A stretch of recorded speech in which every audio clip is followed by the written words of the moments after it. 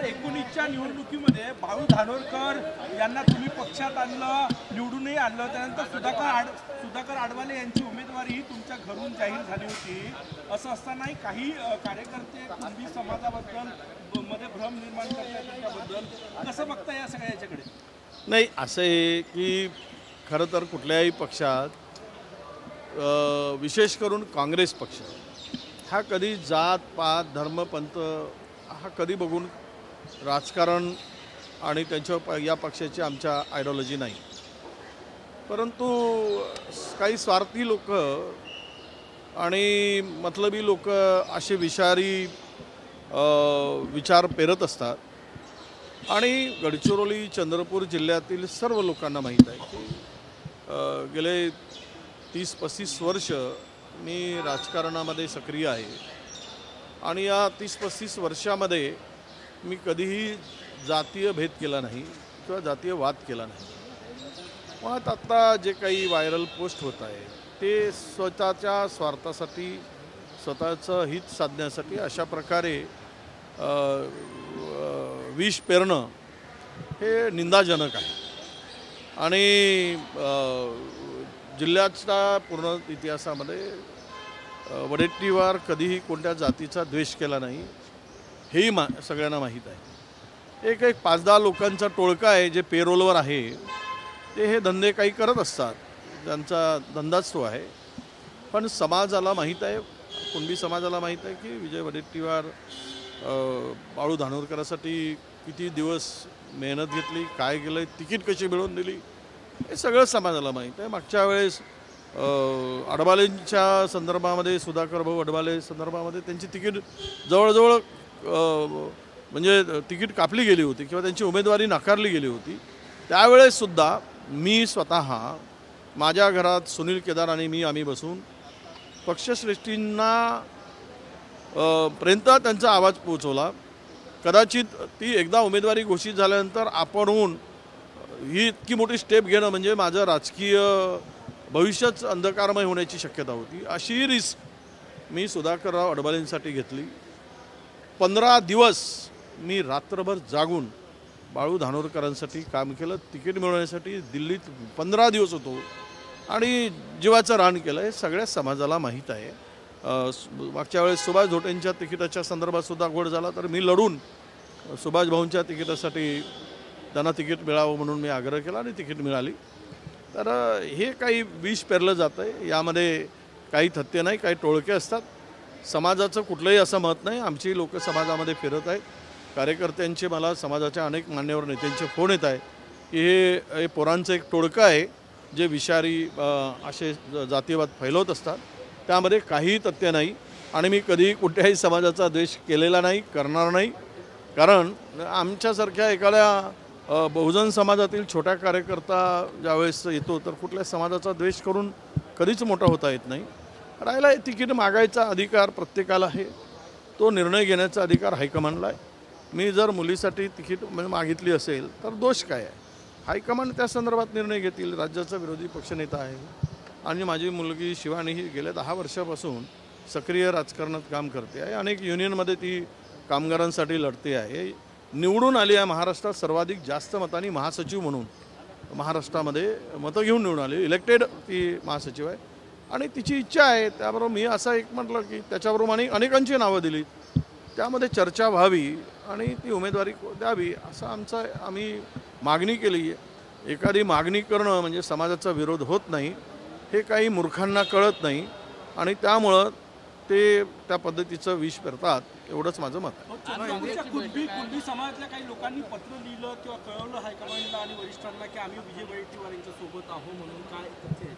आणि अनेक समाजांची नेती माझ्याबरोबर होती. मागच्या वेळेसही ज्यावेळेस मी राजकारणात सक्रिय झाल्यापासून समाजाची मंडळीची साथ मला मिळत आली. आजही ते त्यांनी ती भावना स्पष्टपणे पत्र लिहून हायकमांडला कळवली आहे की आम्ही आमच्यामध्ये कुठलीही अशी जातीय द्वेष नाही वडेट्टीवारांनी कुठल्याही जातीचं नुकसान केलं नाही. अशा मान्यवर लोकांनी वकील आहेत डॉक्टर आहेत अशा मान्यवर लोकांनी पत्र लिहून हायकमांडला कळवलेलं आहे. सर इनमें बताइए आपको लोकसभा सीट के चुनाव चंद्रपुर में चंद्रपुर में लोकसभा सीट के टिकट मिल रही है उसका बहुत सारा विरोध भी हो रहा है। वो संगठना है जो आपका विरोध कर रही है क्या कहो? नहीं नहीं कोई संगठना वगैरह विरोध नहीं कर रही है। और संगठना विरोध करने का सवाल ही नहीं। संगठना भी हमारे साथ है समाज भी वो कांग्रेस विचारधारा का जो समाज है जो पुरोगामी विचारधारा का समाज है हर पार्टी में कोई जात एक पार्टी की तरफ़ एक पक्ष की तरफ़ नहीं होती है। वो विचारधारा से बंधी होती है और जो विचारधारा से बंधा वाला समाज है वो हमारे साथ है और हंड्रेड परसेंट हमारे साथ रहेगा। चंद्रपुर से आप टिकट आप चुनाव लड़ेंगे अगर टिकट मिलेगी तो? सवाल ही नहीं अगर हाईकमान क्या निर्णय लेता है लेता है उसके बारे में हमने अपनी राय दिया है और मैं भी सेंट्रल इलेक्शन कमेटी में हूँ कांग्रेस के और वहाँ पे भी हमने अपनी बात रखी है कि जो निर्णय पार्टी उचित लेती है उसका निश्चित सम्मान होगा। सीट शेयरिंग कब तक हो जाएगा पूरा ये जो चर्चा ये कल सैटरडे संडे है। मंडे को ग्यारह बजे तक या कल इवनिंग तक अ, ये यादी डिक्लेयर होने की शंका है। मतलब हो सकती है ऐसे मुझे लगता है। विपक्ष हमेशा ईडी सीबीआई के ऊपर आरोप करता है पर कोर्ट से कहीं भी रिहाई नहीं मिलती है, विपक्ष को क्या कहेंगे? नहीं, ऐसा है कि इस देश की डेमोक्रेसी को ख़त्म करने का काम अभी करीबन पूरा होते आ रहा है। अभी गला घोटने का काम नहीं हो रहा है तो पूरा ज़मीन के अंदर गाड़ने का काम भी अभी डेमोक्रेसी का पूरा होते जा रहा है। इस देश में अभी संविधान और लोकशाही नहीं के बराबर रही। ये घोषित नहीं है, पर अघोषित है। और विरोधियों को जैसा रशिया में हो रहा है वैसा ही विरोधियों को ख़त्म किया जाए जेल में डाला जाए और अपोजिशन सामने खड़ा ही न दिखे इस प्रकार की राजनीति आज देश में चल रही है। बीजेपी का इस बीजेपी को इसका फ़ायदा होगा ऐसा लगता है आपको ईडी का? बीजेपी को इसका फ़ायदा होगा ऐसा लग रहा है? नहीं देखिए दिल्ली में जो सीएम को जो अरेस्ट किया गया है आज तक पूरे देश के इतिहास में पहली बार किसी सीएम के साथ में दो दो सीएम को अरेस्ट किया गया है। तो जहाँ पे संवैधानिक पद पर जो विराजमान है, उनके साथ अगर ऐसा होता है तो निश्चित ये गलत है ऐसे मैं मानता हूँ। और ये पहली बार देश की आज़ादी के बाद ये पहली बार ऐसे हो रहा है। तो इसका नुकसान बीजेपी को बहुत बड़ा भुगतना पड़ेगा। ये मुझे विश्वास है। यादी कधी जाहीर होईल?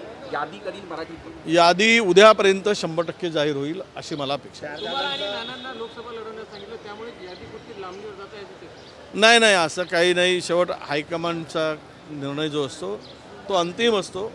परंतु अजूनही आम्हाला हायकमांडनी त्या संदर्भात विचारणा केलेली नाही. समाज के नेताओं ने हाईकमान को लेटर लिखा है कि हम के साथ हैं, क्या देखो, मेरे पूरे तीस पैंतीस साल के राजकीय मेरे पूरे करियर में मैंने कभी कोई जात का घृणा या विरोध नहीं किया। दुर्दा दुर्भाग्यपूर्ण है कि कुछ लोग ऐसी बातें फैलाकर समाज में गलत तरीके से प्रचार, अपप्रचार कर रहे हैं। तो इसीलिए समाज के बहुत उच्च शिक्षित लोगों ने बड़े लोगों ने डॉक्टर इंजीनियर वकील ऐसे बड़े लोगों ने ये लेटर लिखकर कि हम लोग कभी ऐसे जात और धर्म के खिलाफ में बात नहीं कर सकते ना वडेट्टीवार है ना कभी उन्होंने गलत किया है। और अगर हाईकमान निर्णय लेती है तो हम लोग वडेट्टीवार के साथ रहेंगे ऐसा उन्होंने हाईकमान को लिखा।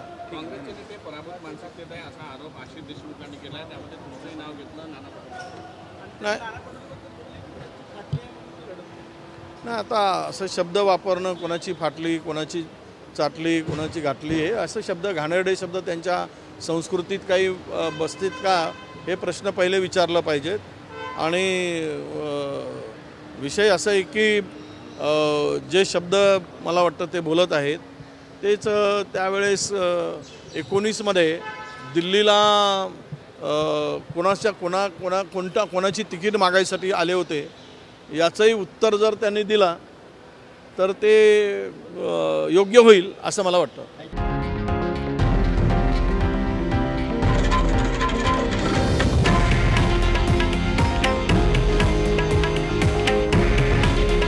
हे आहे देशातील नंबर वन न्यूज नेटवर्क. आणि आपण पाहत आहात टी व्ही नाईन मराठी. काळजी तुमची हित महाराष्ट्राचं.